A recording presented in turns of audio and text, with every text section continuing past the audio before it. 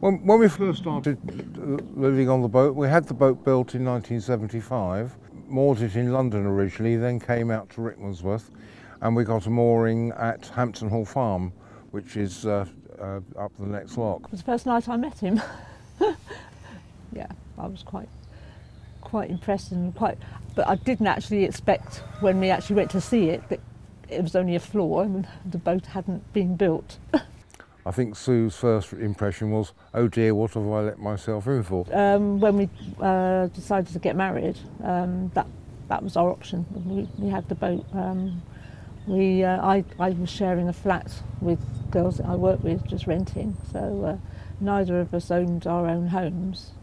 So um, he'd already got the, uh, sort of got the boat, so that was the you know sort of uh, option to um, to live on it. I was quite excited. Uh, I thought it was it sounded quite fun, but um, I didn't know anything about canals, um, so it was a big learning curve for me. 25 years ago, there was something called poll tax, and I learnt then that uh, people who lived on a boat did not have to pay poll tax and that was a prime motivator to, for living on a boat. And uh, I found one quite cheaply, and I've been on a boat on and off ever since. Uh, this boat's 70 foot long, um, so we've got uh, two bedrooms, it's a bathroom, a big living room, and uh, a kitchen. Um, so we've got plenty of space for, for storage on there. I loved um, the social life. Um, it became, for me, it was like, you know, a big village from London to Birmingham. And um, like when we went boating, going through locks, we'd always, I love to chat to people. Uh, so yeah, the social side of it was really, really fun. The wildlife. The peace and tranquility of the canal was, was uh, paramount and the fact that we could uh, untie our ropes and go off in it. So it made holidays a lot simpler. I like uh, I like being able to go just anywhere. I don't like being in the same place for too long. I'd be happy enough to be in the same place for say four to six weeks, but as far as just mooring up somewhere for the next one year, two year, five years, it just drives me crazy. I don't want to be in the same place all the time. It's it's just not me. You can get all over the country using a boat, um, and we often go up to the Midlands uh, for, for a short period and then come back again. I uh, don't have a permanent mooring. When I first got a boat, I was on a permanent mooring in a marina. Um, that came to an end after about six weeks when the owner of the marina realised I was living on the boat and wanted more money, at which point I left. And since then, I've never been on a permanent mooring and would never ever be on a permanent mooring. You can moor on the towpath for up to 14 days. Yes, I do have to move every couple of weeks. And yes, it can be a problem because, for example, if the canal is frozen up, I'm not going anywhere. And uh, CRT in their wisdom don't necessarily always know that it's frozen up at the right time. And uh, will suggest that you haven't moved when you've not been able to move. The licence fee is over a thousand pounds a year. You normally have to pay a mooring fee in addition to the licence fee. It is cheap to live on a boat once you've got your boat. Um, but there are issues with living on a boat. Um, you have a lot more maintenance to do and to think about. But um, yeah, it's still pretty cheap to live on a boat. It's far cheaper. You rent a flat around here, it's 200 quid a week probably, and, count, and uh, council tax on top. On a boat, you bought your boat, you pay your licence, it's £1,000 a year, bit for maintenance, it's still a cheap way to live. It's not cheaper to live on a boat. It is cheaper in, in annual cost uh, because the square footage is smaller, but per square foot it is far more expensive to live on a boat than it is to rent a flat. There are um, water points, sanitary stations and rubbish uh, bins all the way along the canal, um, operated by Canal and River Trust. And um, the Canal and River Trust is the uh, body appointed to manage the canals on behalf of the nation because the, the canal system was nationalised uh, and uh, so as a result belongs to you and me. One of the things you realise on a boat is just how much water you can get through. A water tank isn't that big. I mean, it's, it's fairly big. Uh, it's about 50 gallons, but uh, So when we're boating, we have to fill it up every day. I use gas for cooking and hot water, but I use um, I have an electric engine um, that's powered by 24 volt batteries, which is two batteries linked together, and solar panel feeding into the batteries. Um, this is fine for short distance cruising, which I, as a continuous cruiser, have to do.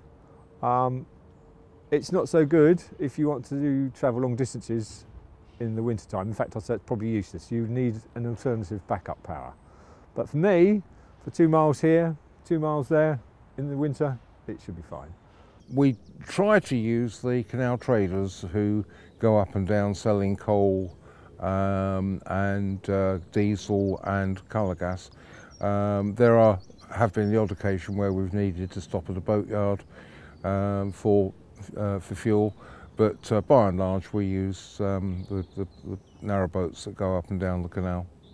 Uh, there are three types of loos on boats. There's, there's what we call the bucket and chuck it, uh, which is what we're fitted with. Then there's a cassette toilet, where you unclip the cassette from the bottom. Uh, they're nicer for people to use, but they're not as easy to keep clean. And then you've got um, loos that flush into a tank.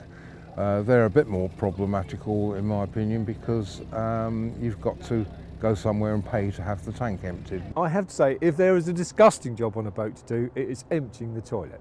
But people with mobile homes will know the same thing because they, they do the same thing and they use the same types of porta potty and they use the same waste disposal methods. We used to have our mail sent to my parents' house.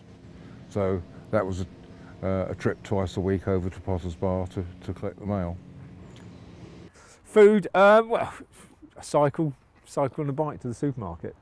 It's, you know, if I was living in a house, I'd be doing the same sort of thing. Mainly the things like having to fill the water tank up. Um, the, the, hose might be frozen in the middle of winter and you have to go out and try and defrost it so you could uh, get water. Um, so really, I suppose the winter side um, was probably the worst. Um, we had a coal fire, so uh, it was a case of getting up in the morning and it was always fairly cold first thing in the morning. But um, it was something, we were young and it's something we got used to. And, uh, so there wasn't a lot I disliked really. Um, the, gas, the gas running out halfway through Sunday lunch on a cold winter's day with snow on the ground. Uh, the main disadvantage is winter. I don't like cold weather much. I don't particularly like it when it's wet. In fact, that's the most miserable time for me, is when it's raining the last few days. Just, it just drives me up the wall when it just rains and rains and rains. But there's many more disadvantages to living on a boat in the winter time, and they include things like emptying the toilet, fetching water, 12 volt lighting, mucky towpaths. Um, I don't think that living on a boat in the winter is really for people who are, uh, it's not a soft way of life in the winter. It's quite hard in the winter and it's hard because it goes on for so long. But yes, we, we had sort of few mishaps. Um, one time our boat got hooked on up on the side of the lock and started tilting and of course my daughter was on board so I panicked. Um, we were in a boat uh, lock uh, with another boat so I jumped onto the roof to try and get wanted to get into the boat because I was worried that my daughter was in there, and I slid from one from our boat onto the roof of the other boat. so um, so yes, it was uh, yeah, but um, there's lots of mishaps that happen. We, there'd be so many stories to tell, um, which is why we love the boat so much because it's got it's got a lot of stories to tell. We were standing on the lock side, waiting for the boats to come up, and we suddenly realised that the water was coming up, but the boats weren't. Um, so we very quickly let the water out and then realised that the boats had stayed where they were. So we put some water back in again and, and thought, what do we do now? And it was about five hours later, with the help of the crews of about 30 boats that had been stuck either side of the lock, uh, that we got everybody bouncing up and down on the roof of my boat to get the uh, back of my boat down, and then everybody bounced on the back of his boat to get the back of his boat down, then the front of mine and the front of his. Uh, and eventually, letting the water out as we went down, eventually they fell free. I was a bit apprehensive when I was pregnant and wondered what it was going to be like and how I would cope. But um, she was very good, very well behaved, and she didn't sort of, she was um, quite sensible. She was brought up with it. And um, I didn't let her out of my sight. I was always really, you know, even when we went boating, she'd come with me in, in a pushchair or a pram. And um, uh, so, yeah, I, I mean, I always made sure that she was safe. We got a mooring in London, um, but um, we then um, little Emily was going to come along, so we decided that uh, uh, an industrial estate in Park Royal wasn't the sort of place you could bring up uh, a baby. Um, so we, we moved out to Rickmansworth. Booked her into the local school. Um, she used to call the uh, footpath the towpath. Her friends used to like coming down and seeing the boat. I went off perhaps 20 years ago when uh, my daughter was born because it's very hard, I think, having a, a small child, small baby on a boat. It's, it's We found it impossible, to be honest. I mean, there comes a time when the child wants to move around and uh, you've got washing and you've got damp and uh, it, it was just it was just a nightmare. So we got off. And then I was off a boat for perhaps five years then, five or six years. And then, uh, and then I got another one.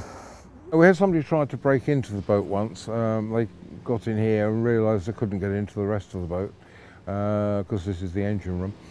I think I've, I've had more of a problem with uh, with vandal, well, graffiti vandalism. I've had my last boat, on my previous boat, I had it graffitied three times.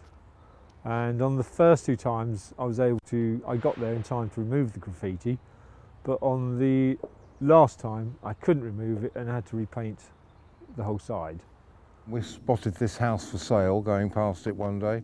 So uh, we popped round and had a look literally the next day and uh, made an offer on it. It was our dream to, um, to own a house with a canal at the bottom of the garden. We m- moved down here and lived on the boat at the bottom of the garden um, and then gradually uh, moved into the house. It was the big telly in the house that did it, I think that was. Uh, I mean, I- I actually think the whole of CRT, it needs to be completely reorganised. Because I think the canals are for everyone, not just for a few, not just for boaters, but for everyone. Everyone should have has an interest in it, but you need people who understand the canals and have a, perhaps a greater vested interest in them to be looking after them. This is where this is where I live, you know.